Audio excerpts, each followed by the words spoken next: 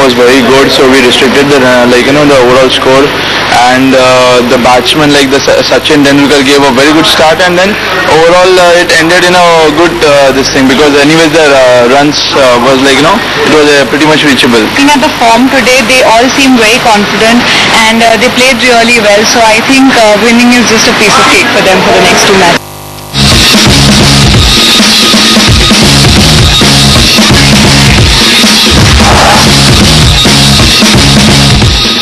And we'll take a short break on that note.